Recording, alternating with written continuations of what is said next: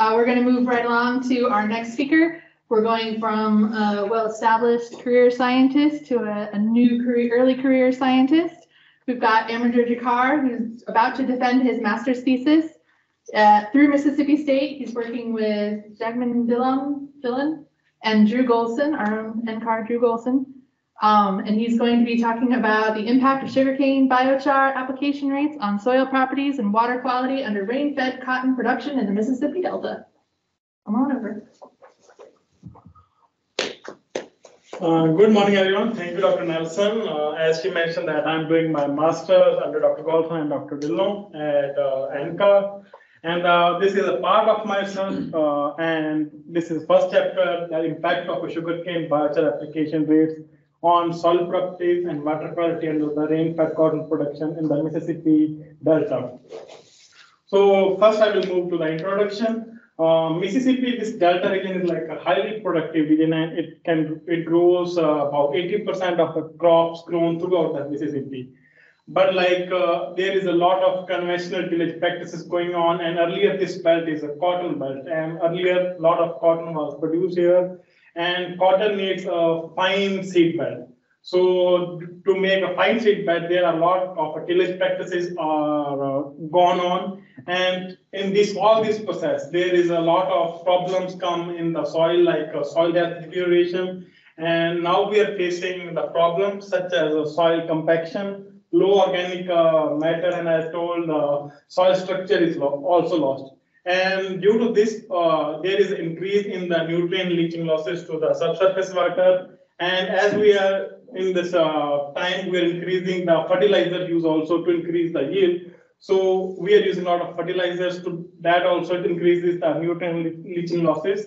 And we may contaminate uh, our subsurface water and in the, some parts uh, of the country, we have already seen that uh, we can see the nitrate and nitrate contents in the subsurface water too. So this study will be uh, to determine that whether biochar can improve the soil properties and uh, or and improve the water quality or not. So for this, we have uh, potential solutions could be a strip tillage, use of cover crops could be a good potential, but uh, usually cover crops takes uh, four or five years to show its effects. And in the initial years, it also reduces the yields. So the next man, the amendment which I'm using is the soil amendment and which is my amendment I'm using is the biochar application. So we have uh, two different objectives. I have already mentioned that uh, whether it, biochar can improve the soil properties and similarly whether it can reduce the nutrient leaching losses or not. So first, uh, may some of you don't know that what is a biochar. Uh, biochar could be like uh, uh, any organic carbon uh, matter which is largely resistant to the decomposition. So it can be like prepared from the any organic matter. It could be like the leaves uh, or wood stalks. It could be any organic matter, whichever you can think. And we uh, like we did the thermal decomposition of the organic matter in the like absence of the oxygen or under the limited presence of the oxygen and uh, whatever the leftover is the is, uh, is the biochar. And the process is known as a pyrolysis. And the biochar which I'm using in this study, the feedstock used for this is the sugarcane bagasse. So sugarcane bagasse like in Louisiana, this is imported from the Louisiana. There, when they extract the like uh, juice from the sugarcane, the leftover which is there, that is called as a bagasse and uh, they use it, they burn it and uh, use it to produce the electricity. And the leftover is uh, known as a uh, like a biochar, and we use it as a soil amendment. So there are the earlier studies in which it has been already uh, like uh, proved that biochar could be a good potential to improve the aggregate stability, reduces bulk density, and it can reduce the nutrient leaching losses as a biochar has a high cation exchange capacity, so it can binds the nice to it and uh, reduces its nutrient leaching losses to the subsurface water. So uh, objectives I have already mentioned. Um, next, move to my materials and methods. This study uh, was conducted at USDA ARS crop production research farm, Stoneville. And the design is completely randomized design. Uh, the soil type is a commerce very fine sandy loam. And the plot mentions in length, we have nine point one five meter, and in width, we have six meters. Each plot has six rows with a row spacing of uh, one point zero two meter. And we have four applications in this, uh, uh, like, uh, study. The variety we use is a Phytogen PHY four three zero, and the, uh, we, we use the seeding rate is hundred twenty thousand five hundred fifty-five seeds per hectare. So, uh, next is my treatments. I use the three different biochar application rates that 10, 20, 40 milligram per hectare, and the fourth plot, we have the control, or you can see the uh, untreated plot. So next move to the materials and methods. Uh, we have collected a deep core soil samples using the Giddings probes that you can see in the top image. And we have collected the deep core samples from zero to sixty centimeter depth, and then we um, divide it into the fifty centimeter of the increments. And then we determine the bulk density, and after determining the bulk density, we break down the mm, soil into three different aggregate sizes. That's 0.5 to 1, 1 to 2, and 2 to 4 mm of aggregates. And that we use to determine the aggregate stability, total carbon, total nitrogen, and permanganate oxidizable carbon. So we have also collected uh, soil cores in the spring season, in the April 2021 and 2022, which we determine for the bulk density, gravimetric water content, and the volumetric water content and penetration. Soil infiltration uh, measurements col- and estimated sorptivity was uh, determined using the Cornell sprinkler infiltrometer. And we have also collected the soil samples from the two depths from 0 to 15 and 16 to 30 centimeter for determining the soil fertility. Uh, uh, sorry, I forgot to that. This study is uh, started in 2019, and I started collecting the samples in the second and the third year of the study. So for determining the nutrient leaching losses, as earlier Dr. Sasi has uh, mentioned about the lysimeters, I'm also using the lysimeters, but this is not that expensive of one million. This is the like only five, two to five hundred dollars of lysimeter.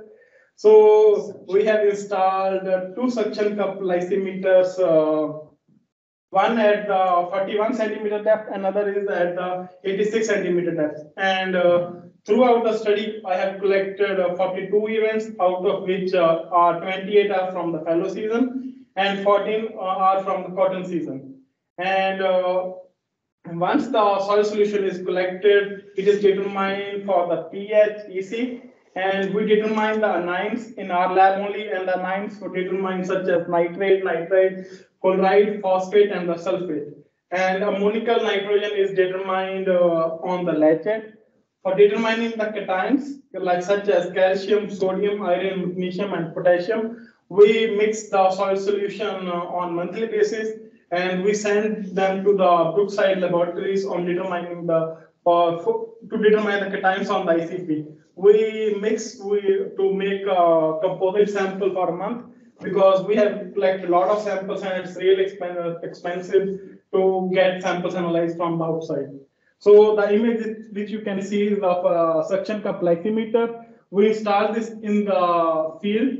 So when soil solution like uh, rain is there, like a half an inch of the rain is there, water starts from from the top and it goes down and this is the ceramic suction cup and we create a vacuum in the suction cup lysimeters and uh, when there is a less pressure in the suction cup lysimeters soil solution uh, moves from outside to inside and later on we take out the soil solution with the help of creating a pressure and later on we bring it to the R lab.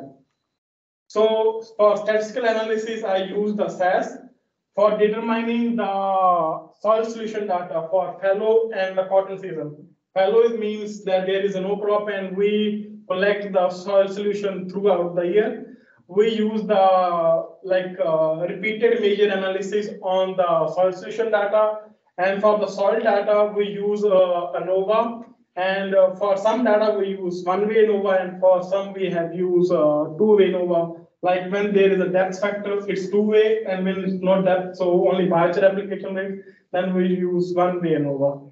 And uh, the alpha we use is the 0.05. So next move to the results and discussion that's really important that everybody wants to know the most.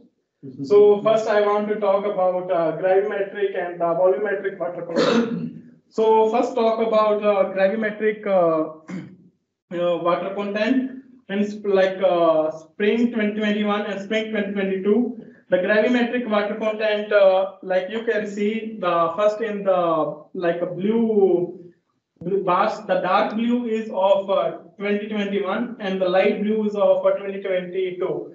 In this, you can see that the gravimetric water content is uh, improved on the top soil depth of 0 to 15 centimeter with the increase in the biochar application rates like as the 10, to, uh, 10 is increased and on the 40 is also increased.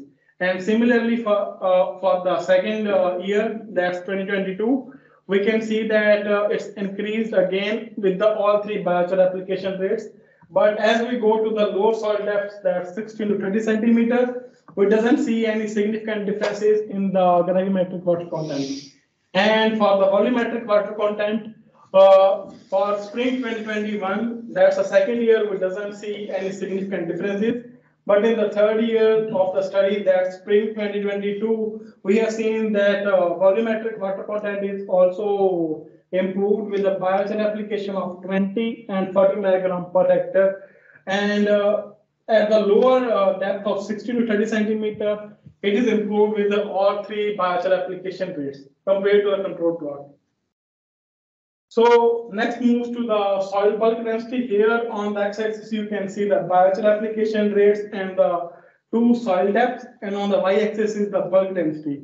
So first uh, talk about like uh, for 2020. In that year, we doesn't see any significant differences in the bulk density, but the mean values you can see it's decreasing with higher biochar application. So in third year, that's in fall 2021, we have seen that biochar application reduces the soil bulk density with a 20 and 40 milligram per hectare.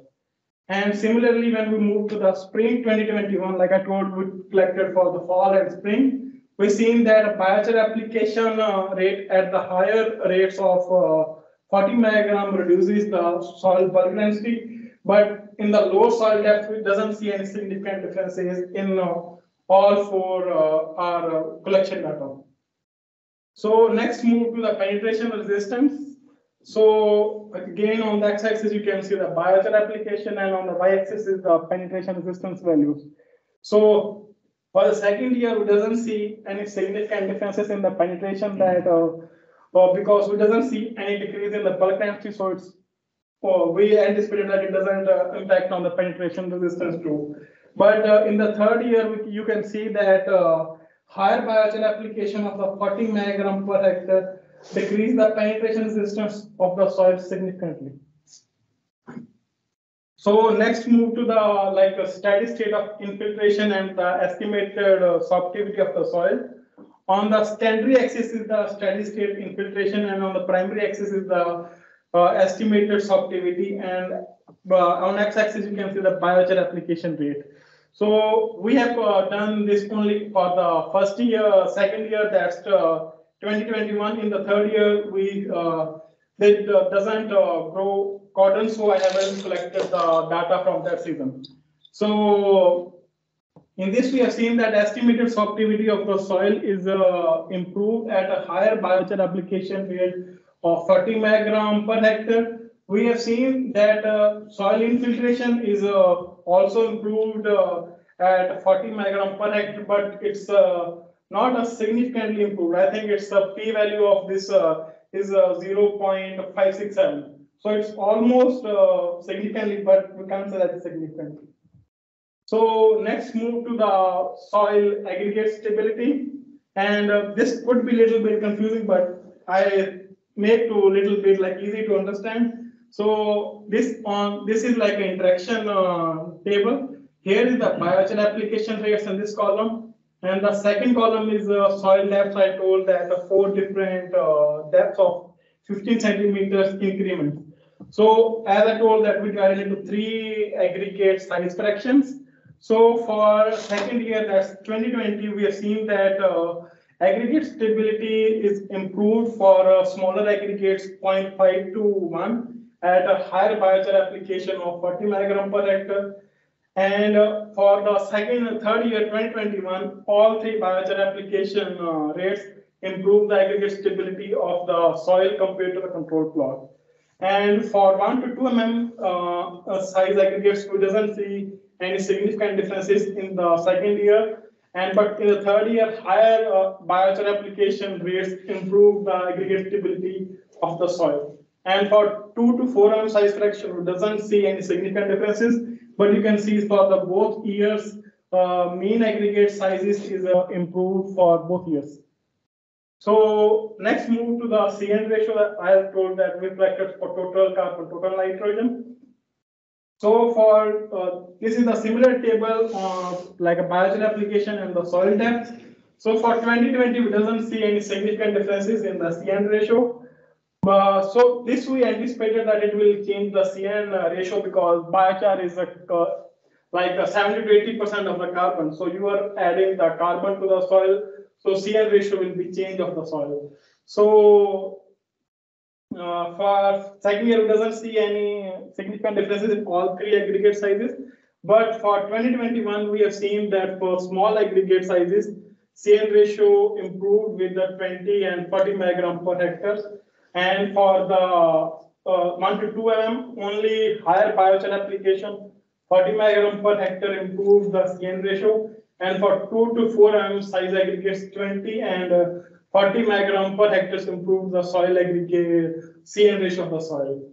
So next move to the POXC that's permanganate oxidizable carbon. This is uh, like uh, also part of the total carbon only, but it is uh, highly changeable. So when we change anything to the like a tillage practices, anything the uh, the first thing that we change is the only we can know that whether there is anything changing in the soil is can be determined using the POXC.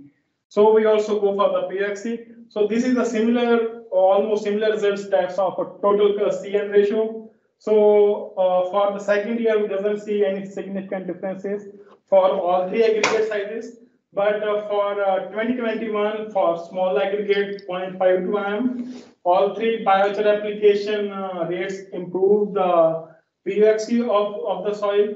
And for one to two, only higher biochar application of 40 milligram improve the POXC. And for two to four mm, all three biochar application rates see significant differences compared to the control plot. So next I want to move to the nutrient leaching losses. That could be like a big problem maybe in the near future. Now also there is a lot of research projects going on to reduce the nutrient leaching losses. And uh, in this graph is the interaction graph about that what are the ions which were affected by the biochar application rates. As I already told that we have two soil depths for the installing the suction cup meters 46 and uh, 81 centimeter. And on the secondary axis, you can see the electrical conductivity and uh, on the primary axis, the chloride, sulfate, and the sodium concentrations uh, were there. So first I want to move to the chloride concentration. So on the, for the uh, 46 centimeter depth of the lysimeters, we have seen that uh, chloride concentrations were reduced at 10 and uh, 40 milligram per hectare. And when we go to the lower depth of 81 centimeter, chloride concentration were reduced on uh, 20 and 40 milligram per hectare.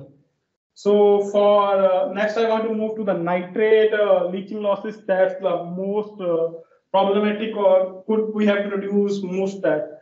For nitrate leaching losses for the 46 centimeters, we can see that uh, compared to the control, all three biochar application uh, rates reduce the nitrate leaching losses. And when we move to the lower depth of 81 centimeter, all three biochar application reduce the nitrate leaching losses, and at the 40, it almost becomes uh, zero. So there is a no leaching losses uh, taking place at uh, 30 milligram per hectare. So next I want to talk about the sulfate that is in light green color. So sulfate and the sodium that is in a dark color. So sulfate and sodium concentrations were, we have seen that little bit uh, increased uh, with the biochar application rates. And for sodium, we have a lab report that our biochar, uh, biochar has a higher sodium concentration. But for the sulfate, we doesn't have any lab report that what is the concentration of sulfate in biochar. But uh, like it highly depends on the like what temperature biochar is prepared and what is the feedstock. So the feedstock which we are using in uh, I have already told that is the sugar cane. So may in Louisiana that there is a recommendation uh, to apply the sulfur in the lower uh, where is the lesser sulfur in the soil. So it could be like farmers may apply the sulfur uh, to the sugar cane. So may it can uh, come from that that our biochar could have a higher sulfur concentration. So for the electrical connectivity that you can see in that is in top uh, blue line. For the above uh, uh, depth of uh, lysimeters 46 centimeter, the like results were inconsistent. But as we go to the 81 centimeter depth, the electrical connectivity reduced significantly on 20 and 40 microgram per hectare. So as uh, nutrient leaching losses, uh, like there were lesser ions, so electrical conductivity is reduced also.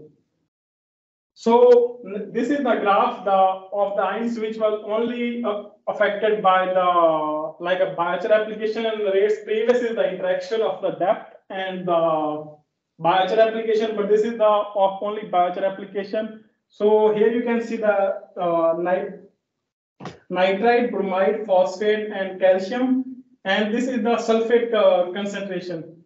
So uh, as I told that uh, I have uh, done different analysis for the fallow and the cotton season. In fallow season, we have seen the significant differences in the most of the ions.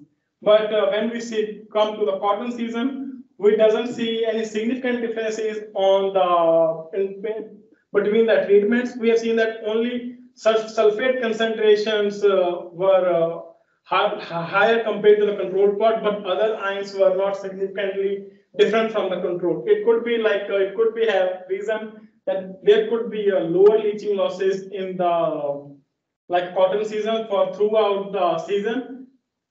There could be like a three reasons that it could be lower leaching. One could be like uh, that as cotton is already there, so and cotton needs nutrients, so it extract nutrients, so there is not sufficient nutrients to leach. The second could be we receive lesser uh, rainfall during the cotton season compared to the fallow season. And the third could be that this is a like uh, rain-fed st uh, study. So like when uh, there is a rainfall, there will be like higher evapotranspiration losses from the soil and from the plant. So may soil doesn't have uh, that much of the water to leach the nutrients uh, to the subsurface. So this is like I can could be the these three reasons that in cotton season we doesn't see any significant differences within the treatments, but in uh, fallow season we see the significant differences. So uh, like uh, first is the uh, like on axis you can see the biochar application rates, and on the secondary axis you can see the sulfate and the calcium concentration, and on the primary you can see the night nitrate, bromide, and the phosphate concentration. So first, the dark green color, that's uh, nitrate concentration, whose uh, concentration were reduced with biochar application on 10 and 40 milligram per hectare. So bromide concentration, all that is in light green, also reduced with all three biochar application rates. And phosphate, like which could lead to the eutrophication uh, uh, when there is a higher leaching losses of the uh, like when there like higher surface losses of the phosphate. So biochar also reduces the phosphate uh, leaching losses and similarly the calcium which you can see in the purple line at 40 microgram it also reduced and this is the sulfate that you can see in the blue line it's increased at a higher rate of 40 microgram per hectare. So next uh, conclusion that uh, biochar is a good viable solution uh, to improve the soil properties, but like uh, 40 milligram could be hard to apply for the farmers. So we recommend that uh, May 20 milligram could be a good uh, way to improve the soil properties, and it also reduces the biochar also reduce the leaching losses for the most of the ions, and only sulfate and the sodium leaching losses were increased and that too be increased on the top depth and it doesn't see significant differences on the lower depth that's of eighty-one centimeters. So, but, uh, there could be like a further study, like uh, whether it can impact on the yield losses. Uh, Dr. Sasi is doing that study, that how it impacts on, on the yield of the cotton and whether it is economically viable, the twenty megagram or not for the farmers. So last I want to acknowledge all my committee members, Dr. Gholson, Dr. Dhillon, and Dr. Gazalaki, Dr. Kaur, and Dr. Singh, and all my lab mates and uh, our farm manager, uh, Jim Nicholas, and administrative assistant, Miss K. Sylvian. So this is the reference slide which I use throughout the study. So any questions are welcome. Thank you.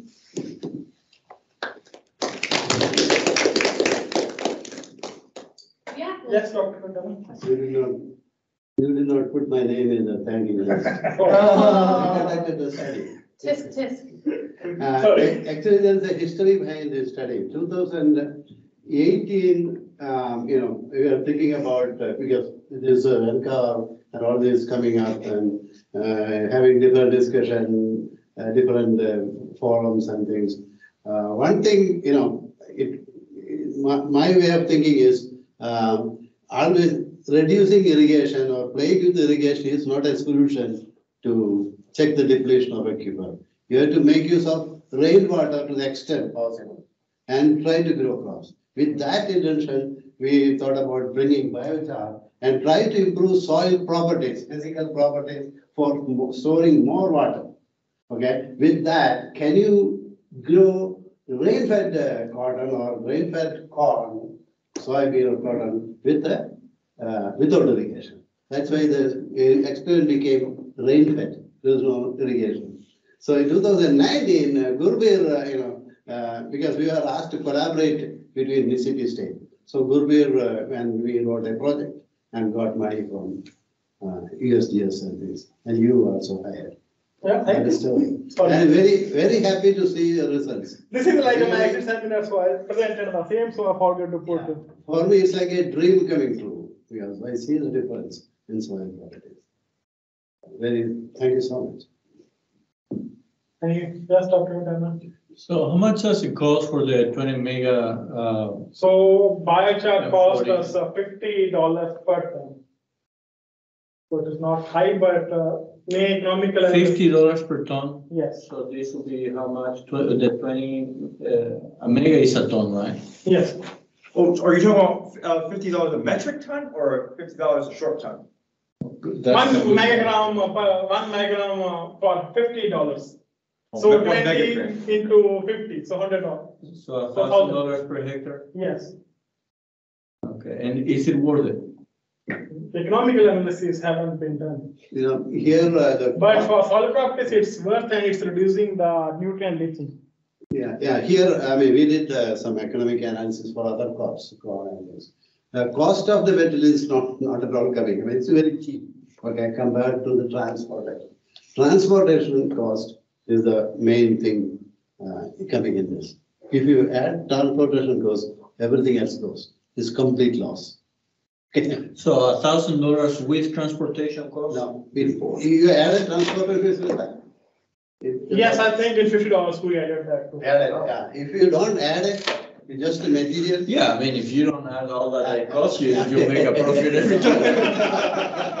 No, no, no, but what, so what, what he's saying is that you were farming right next to the sugar mean, cane. yeah. What I'm saying is, in future, you know, if somebody is interested, okay, yeah, people need biochar, they start a company float one here. Then your transportation cost is gone. That's it. So, uh, company that, so you, you'll have to have, uh, sugarcane production, is that what, how? No, how no, is it can- Biochar can be any material, any, uh, what do you call, uh, biomass, Right, okay? and it's a byproduct of burning, burning. Yeah, even, even, you know, hay, hay, you know, the, the residue left behind, uh, uh, Rice, after uh, harvesting crops here, it can be any material. And in, uh, Fort Collins, we call it biocar, I don't know why. Biocar is, uh, produced from, um litter in the forest, forestry, like a fire, biocar. Yeah. So I'm gonna go ahead and thank everyone for coming, and you can leave if you want, but I am gonna go ahead and let some people ask some more questions if you're interested in hanging out. If not, we'll see you in February and thanks for attending. What was your question, Zach? Oh, yeah, um, so I noticed in some of the soil properties, uh, you're seeing a a bit of a temporal trend, you know, going from twenty twenty-one and this year.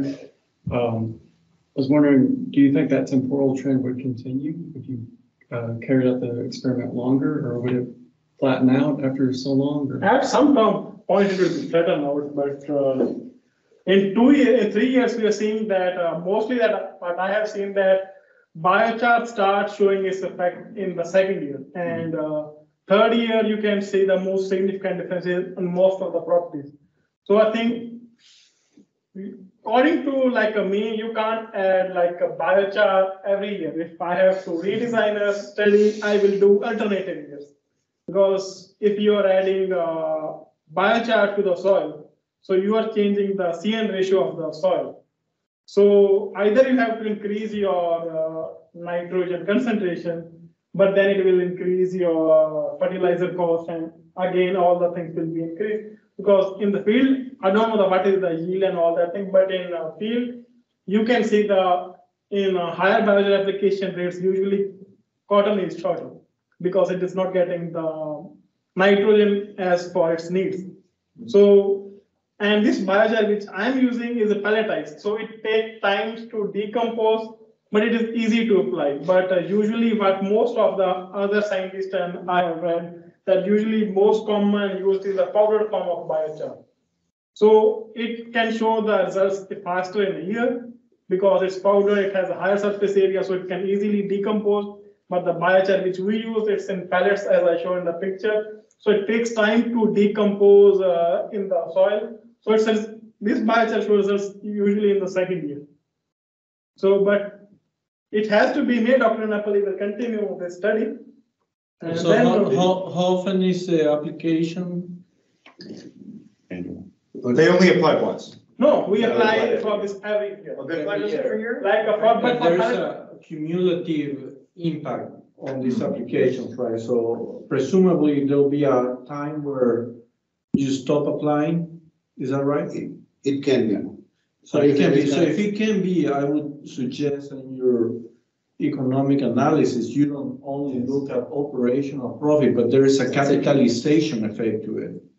Uh, you know, it's not, it's not just a season to season effect. If, if, if, if there is something that accumulates and can stay there for a while, that's, that's more like capital than, than an uh, input. Yes, like, uh, if, uh, whenever this study is stopped, uh, I think like there could be like, if we start sampling, if nobody takes that sam- field, uh, I think if we take the samples every year, I think its impact will last for next five to ten years. there's residual. Yes. Yeah, actually, uh, this study, uh, right now, because I'm with the water management, uh, I started when I was with the crop production systems.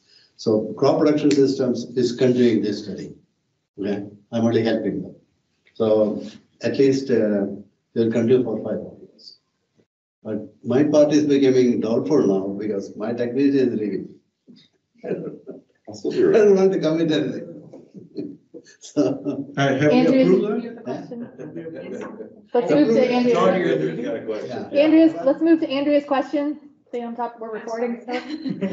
Um, so I just wanted to make sure, I did understand correctly that you analyzed the ions and stuff in the soil pore water that you extracted from certain depths, is that right? Yes, soil solution, you can see, yeah.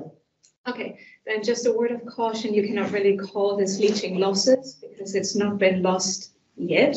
It has only moved, and since the roots also go into the deeper depth, they could still be taken up. And so my question related to that is the decreasing concentrations in nitrate, for example, could they also just indicate a reduction in fertility?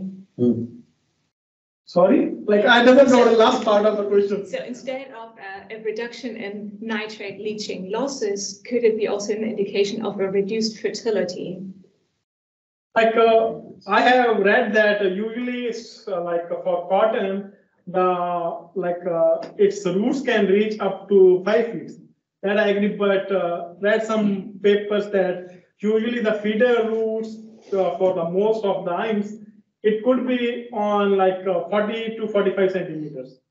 So for above depth, maybe we can see that the fertility could be analysis, but for the lower depth, or either I have to go more depth, but uh, that I agree that it could be for the fertility too, for top depth. And Andrew, what you mean by that is that because we've disrupted the CNN ratio, drastically increasing carbon, the the nit, the, the, the, mineral nitrogen is going towards, um, you know, decomposition of the biochar rather Yeah, than For example. within the. It's Yeah, I'm like thinking mobilization. either- Yeah, I'm thinking either of uh, denitrification being increased because of feeding of the denitrifiers with carbon, Sure. Or it could be just bound, sorbed to the biochar itself. Yeah, And so I just wonder if it's just unavailable for the plants and so not being in the. like soil when we solution. add uh, carbon to the soil, uh, there is a, so, some I have seen some papers that with the biochar, the microbial activity like is uh,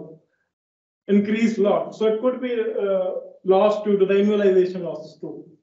But if it is like uh, stored in the soil, then it could be really good because once uh, there is a decomposition of the biochar, then may be available back to the crop.